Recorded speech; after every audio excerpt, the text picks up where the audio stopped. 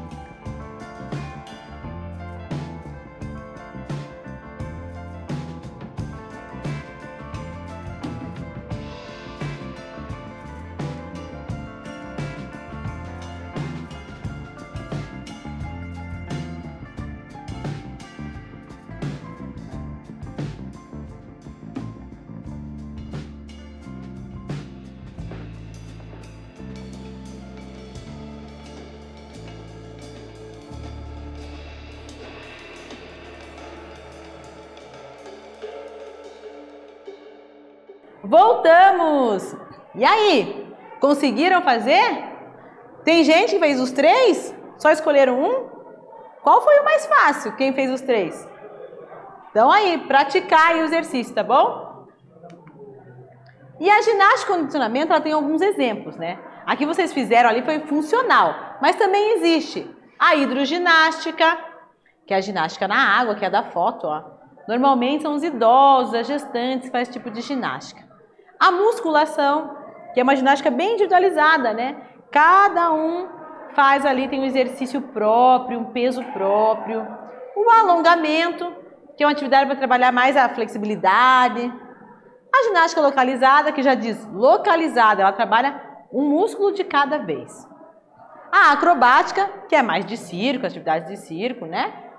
A aeróbica, aquela que você dança, sua mesmo, para trabalhar o aeróbico.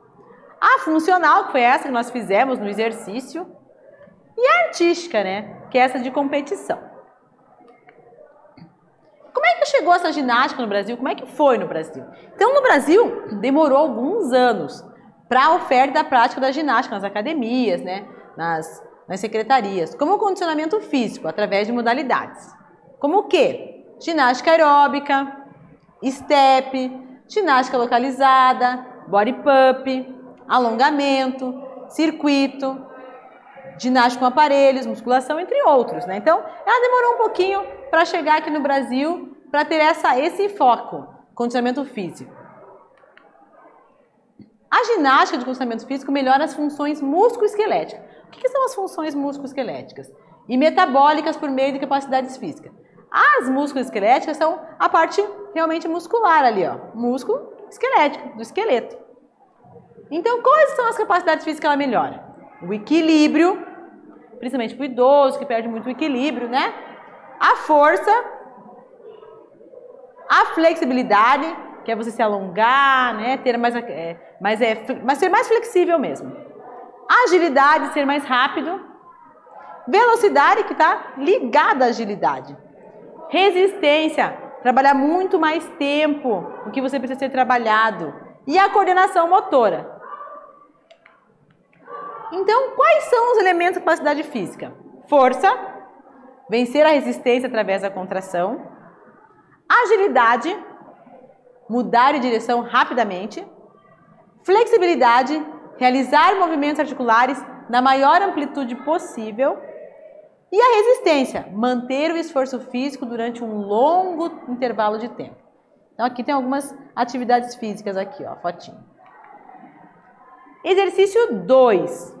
Agora que você aprendeu quais são as capacidades físicas da ginástica de condicionamento físico, escreva em seu caderno quais as capacidades físicas você trabalha no seu dia a dia. Vamos lá?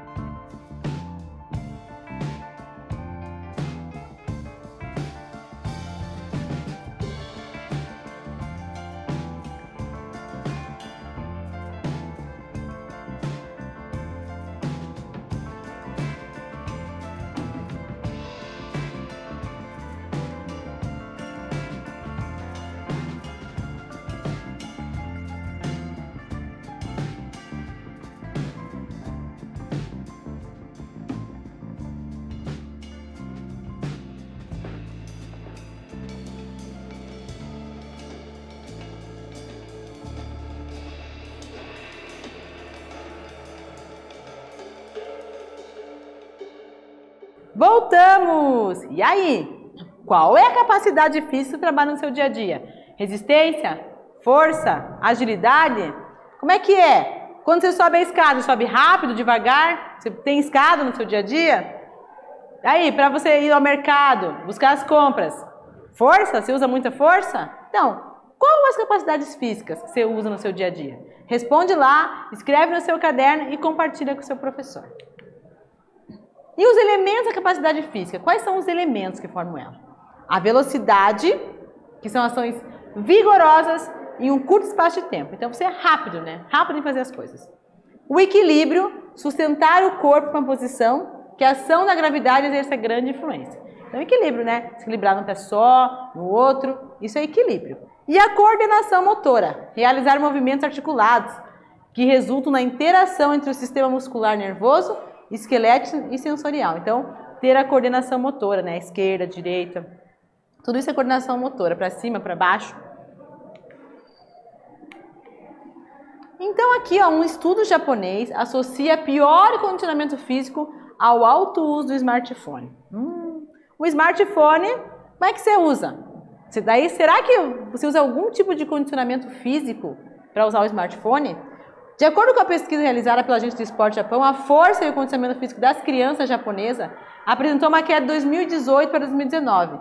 A causa da queda pode estar relacionada ao tempo em que as crianças passam no celular. Então, as crianças diminuindo a força dela, porque elas passam muito tempo no celular. E o celular não exige habilidade de força, né?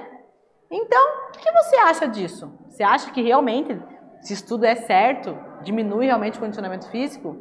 Utilizar muito o smartphone pode estar associado à baixa do condicionamento físico?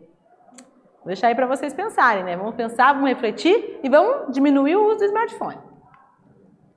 Quais são as orientações para fazer uma ginástica? Então você vai chegar lá, vai, hoje resolveu fazer ginástica. Então, quais as orientações? Primeiro, a vestimenta. Você não pode ir de salto, de bota, aquele tênis com plataforma, não. Tem que ser tênis e roupas confortáveis.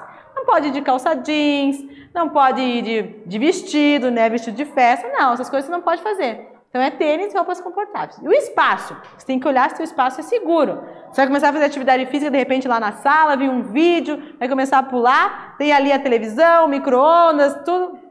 Quebra tem que fazer o aquecimento e o alongamento. Para iniciar a atividade, você faz um aquecimento, depois um alongamento. Tanto no final da, no final da atividade no começo um alongamento. A hidratação. Mantenha-se hidratado. Como é que você se manter hidratado na atividade física? Tomando lá refrigerante, suco? Não. É água. Para se manter hidratado no tempo de atividade física, atividade física é água. Então vamos lá. Exercício número 3. Crie um cartaz virtual que retrate a sua opinião com relação à ginástica de condicionamento físico e o uso de smartphone. Compartilhe com seus colegas. Vamos lá?